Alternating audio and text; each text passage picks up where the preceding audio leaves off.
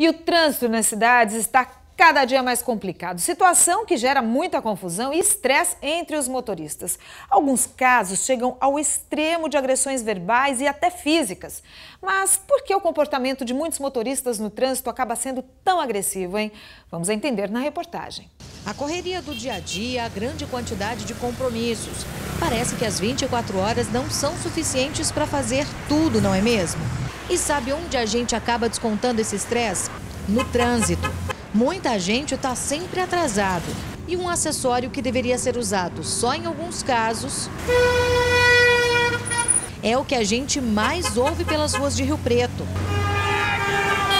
Passar de uma faixa para outra sem usar a seta, andar muito devagar ou rápido demais, buzinar para quem está na frente. Tudo pode ser motivo para brigas e confusões. A não seta, o freio no lugar errado, a entrada no lugar errado. Isso é o que mais estressa. Vira na frente do outro com tudo. Fica na faixa errada. Ficar vendo o celular.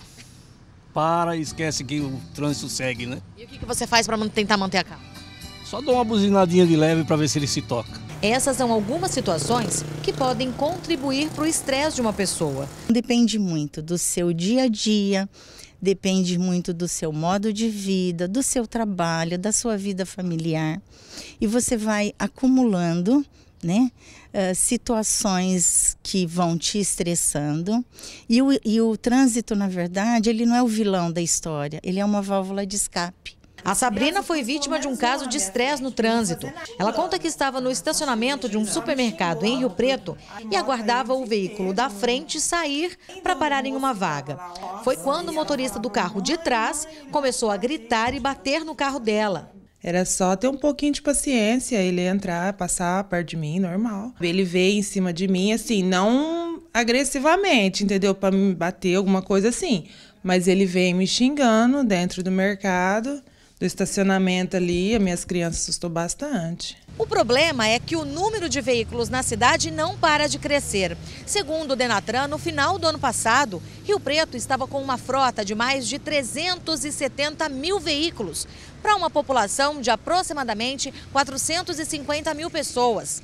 Ou seja, é quase um veículo para cada habitante.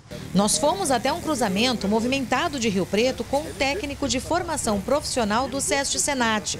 Ele disse que existe uma classificação de perfil do motorista e destacou os principais. O apressado, que normalmente sai de casa atrasado e busca o tempo todo o espaço para poder chegar a tempo no seu compromisso.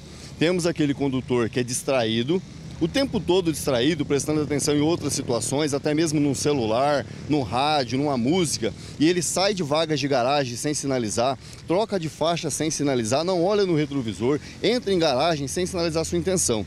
E temos aquele que é o aventureiro, aquele que é o competitivo. O tempo todo ele busca no trânsito um espaço, ele disputa com outros condutores, como se o trânsito fosse uma competição sempre. Mas o que fazer para evitar brigas e constrangimentos no trânsito? Uma das coisas mais importantes é quando você se prepara para entrar num veículo, é programar. Programar o seu itinerário, programar seu tempo né? Para que se você encontre adversidades, você tenha como controlá-la.